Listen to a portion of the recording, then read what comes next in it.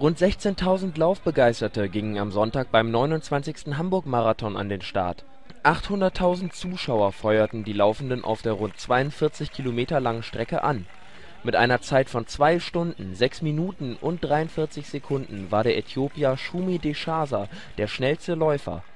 Der Hamburg-Marathon ist der siebtgrößte Europas